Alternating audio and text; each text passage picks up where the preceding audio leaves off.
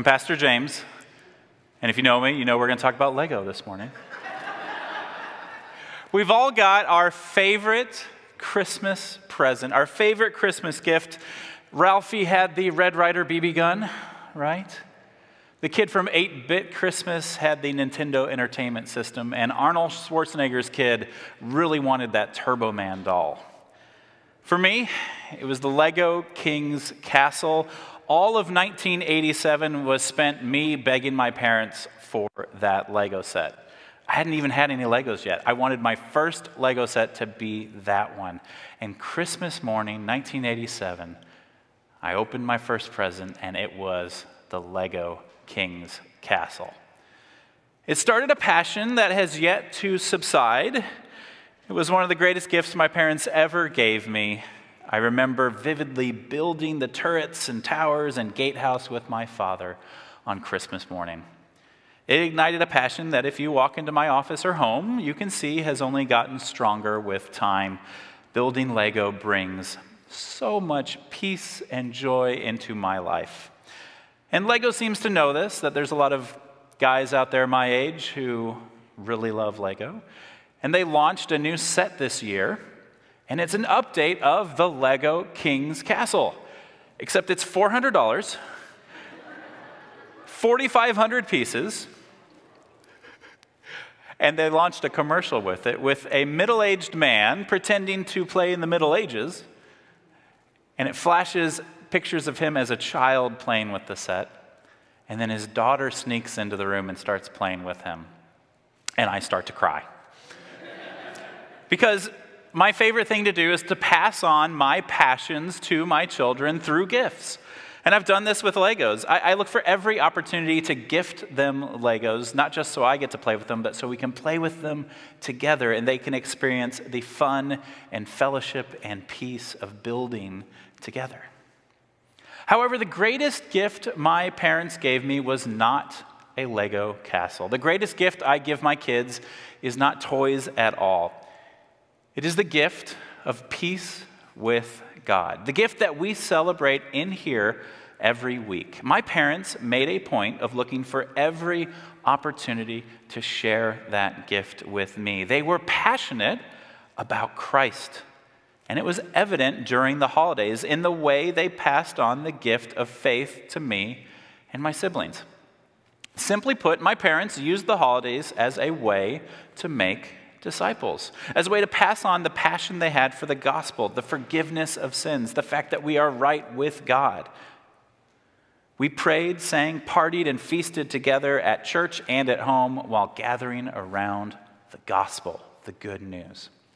And now, it's my turn to be the gift giver. And I look for every chance I can find to gift my kids with true peace the peace that only comes from one place, from Christ. In his gospel, John records that Jesus said, I've told you this so that my peace will be with you. In the world, you will have trouble. But cheer up, I have overcome the world. We live in a world full of trouble, hostility, war, and at times very little peace. In a weird way, it's during the holidays that we sometimes notice the most trouble in the world. During a season of giving, we see the needs of others more clearly. After you fill your baskets to the brim with gifts for your family and friends, take a look around as you drive home from the mall.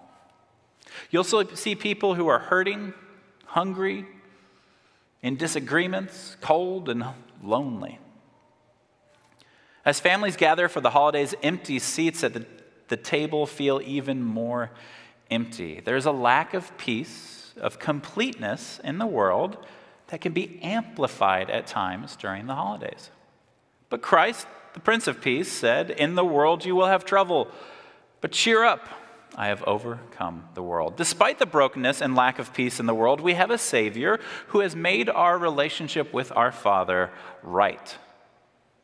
And he is working this rightness, this completeness, this peace in and through us this Christmas season and throughout the year. This is a gift. And it's one that never runs out. And it's one that never goes on sale because it's always free.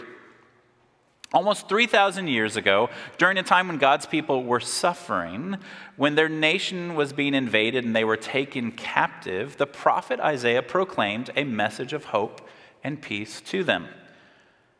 A child will be born for us, a son will be given to us. The government will rest on his shoulders. He will be named Wonderful Counselor, Mighty God, Everlasting Father, and Prince of Peace. Hundreds of years before Christ was born, God's people, Old Testament Christians, were waiting for Christ. During a time of war and captivity, they were waiting for the gift of peace from the Prince of Peace, King of Peace. They were hoping for Christmas morning, and we reenact this waiting every year in the church during Advent season. Because we are still Advent people. We are just like the Israelites who were waiting for Christ. They were waiting for Christmas Day. We too are waiting for Christmas. Christmas, the sequel. Except, unlike most sequels, this one's actually better. We have a lot to celebrate and to pass on to others. Christ has already brought us peace with God through his works, his life, his death, his resurrection. And now we are waiting for him to return and fully enact the victory he has already won. We are waiting for his advent again. We are waiting for second Christmas. You may know about first Christmas, but what about second Christmas? Isaiah has something to say about second Christmas, using some rather figurative language that seems kind of weird. Wolves will live with lambs, leopards will lie down with goats. Calves, young lions, and year old lambs will be together, and little children will lead them. Cows and bears will eat together. Their young will lie down together. Lions will eat straw like oxen. And infants will play near cobras' holes. Toddlers will put their hands into vipers' nests. They will not hurt or destroy anyone anywhere on my holy mountain. The Lord will be filled, the world will be filled with the knowledge of the Lord, like water covering the sea. This is kind of some confusing stuff. So, what better to illustrate it than Lego? We have a new tradition in my family. It's been building over the years. Building over the years. It started 35 years ago when I got my first Lego set, but it culminates right now with my Lego Christmas Village. I truly, truly enjoy every year putting together the Lego Village, playing with it with my kids, and then telling them to stop touching it because I have to.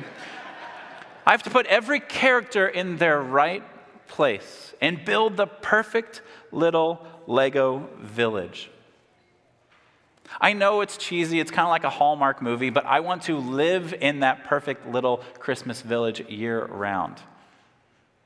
A world with no war, no pain, no suffering, peace, comfort, and joy all year round. If you're like me, you're yearning for this same world. I'm thinking of adding some new things to my Christmas village, maybe some like bears and, and lions having tea together and, you know, babies snake handling or something like that. But Isaiah was onto something. We have the promise of a world where there is no more strife, where even the animals will get along, where there's no death no sorrow, no suffering. We have the promise of this, and that is the promise of Christmas. That one day when Christ returns, all will live in a perfect Christmas world of peace for eternity with our Prince of Peace. I've been waiting for that moment all my life, oh Lord. This Advent season, as we remember the advent and birth of our Savior. Rest in the next advent when he will return and fully usher in an eternity of peace. Be Advent people who are filled with comfort, joy, and peace, and who share it with others. Paul had an understanding of this, and he wrote this to the Romans May God, the source of hope, fill you with joy and peace through your faith in him. Then you will overflow with hope by the power of the Holy Spirit. As you wait for second Christmas, find every opportunity to celebrate the peace that Christ has given us peace with our Creator and a future peace with all of creation.